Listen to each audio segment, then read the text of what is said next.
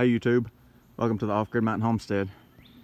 Today's video, I'm going to show you what I'm adding to my beehives. Um, these little entrance gates, entrance discs, whatever you want to call them. A four-way entrance disc. This particular uh, brand here, I have a link on it in the description, but this one is a larger size. They make them like two and a half inches, and this one's right at five inches. I think it's like 4.9, something like that. So it's a swivel entrance gate so you can uh, you got a blank off plate full open queen excluding and ventilation. So I added these uh, little boxes here. Don't mind this hole. I'm gonna block that off but added these top boxes so I can use them for winter feeding and for ventilation stuff like that uh, so on and so forth. But anyhow I wanted a, a source of ventilation for summer and winter so the air can can flow through the hive a little better since it's so humid here. Um, so I mainly got these for the ventilation uh, ventilation portion. You can see you can just turn it whatever direction you want. And these are galvanized, so, you know, should hold up for years and years in the weather. But you can go, you know, full open, queen exclude, blank off, whatever you want. So I thought these would be quite handy with our uh, beekeeping adventures for our apiary. So uh, I've got two, got one on that eight framer up there, and this 10 framer here that was somebody handmade this one.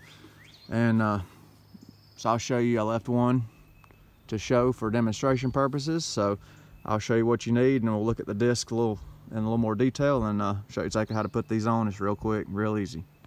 And the first shot, of course, was a 10 frame. This is an eight frame. I'm just, I'm centered it in the board and it's gonna make it, on these eight frames, it's got a taller, taller top cover on it. And if you, uh, you know, if you center it up, it's gonna make the hole a little offset from the top but it's such a large a large opening.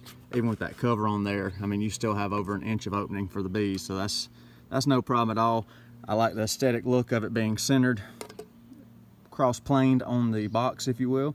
So I'm centering it even though the hole's a little under the cover and if you don't like that I'll show you to fix that too. So if you don't like the way it looked with the cover on let me show you one more time. If you don't like it like that all you got to do is take your feeder box your additional box on the top flip it upside down, and there you go. You got your opening on the bottom, but I'm not really gonna use it for, for an entrance for now, just more ventilation, so I prefer the ventilation close to the top, but you know, it doesn't matter. What are you gonna need? Well, of course, you're gonna need a beehive. Uh, you don't have to use this top box like I've got. You can actually put them right into your, your honey super or your brood chamber, whatever your personal preference is. Like I said, I'm going mainly for ventilation. So I'm putting it on this little additional boxes I built. So you'll need the beehive, of course. You'll need the entrance gate, entrance discs. So there's a closer view of it. Galvanized steel. So it's pretty thick. You can see right there. That'll hold up for probably longer than the hive will.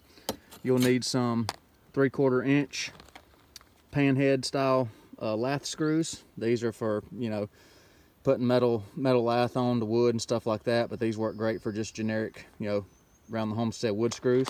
So I'll be using those three quarter lengths perfect because the lumber is three quarter deep. And with the little spacing, works out fine, no point. You'll need a battery drill or impact gun, tape measure, hole saw. That's an inch and three quarter hole saw. It works out perfect for the opening on the entrance gate, entrance disc. You'll need a marking device and a Phillips uh, bit driver. All right, so just go and take your cover off. You can work the box on the hive or off the hive. Since we're on the hill, it's very ergonomic just to leave it on this hive. So this box is 14 wide and six and a half tall. So I'll come across, make a mark at seven. And then we're six and a half tall, so be three and a quarter this way. And that's gonna be dead center for us right there. And then get your three quarter screw. You got your center point right there, so I'm gonna punch a screw in right there remove the screw back out. So we already got our center hole punched. And if you look at this cover, it's got a little finger grip that points out. So make sure it's pointing out. And so uh, these screws actually work out perfect. So then just line up to your hole, put it on there. Don't put it too tight to start with. And then mark where you want your hole, whether you want it here here, sides, your personal preference, it don't matter. Whatever floats your boat, I'm gonna make it look as level as possible I'm gonna take my marking device. I'm gonna make a circle for this hole and then remove this assembly again. And then I'll measure center point on that. This is inch and three quarters across, so our center point is gonna be seven eighths. So I'm gonna go seven eighths this way, and then flip it around, and go seven eighths the other way. From the edge, of course. Can get her lined up right here, pretty close. There we go. And that should be our center point for our pilot bit on the hole saw. You can, so we got our pilot hole marked, got our trusty death hole saw here. So I'm gonna take this off, put it on the ground for stability. Rest your hole saw on the edge, that kind of helps you get to your center line. It's gonna be hard to see this on camera, but get your pilot assembly. I'm looking down through the, the gullets on the hole saw, making sure my pilot is dead in the middle of them crosshairs I drew. Then I will run it in there and check. Just drill the hole.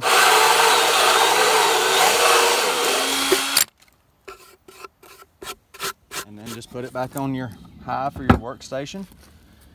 And then get your puck with your screw. Just put it in finger tight to start with like this. And then uh, get your trusty screw driving device gently. You don't want it too tight. If it's too tight, you can back off the screw just a little bit, but there you go.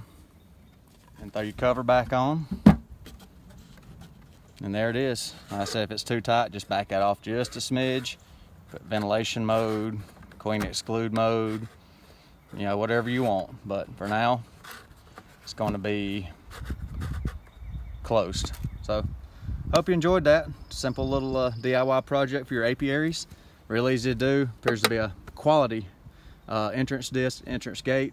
Uh, you know, they make them smaller, you know, just your personal preference. I wanted the bigger ones for more ventilation due to our humid climate. But, uh, you know, hope you enjoyed the video. Hope I, hope I could help you out a little bit with this. But uh, if you don't mind, hit that like button, questions or anything, put them below in the comments. If you're not subscribed, I'd greatly appreciate a subscription from you. Thank you for watching the Off Grid Mountain Homestead. Hope y'all have a nice day.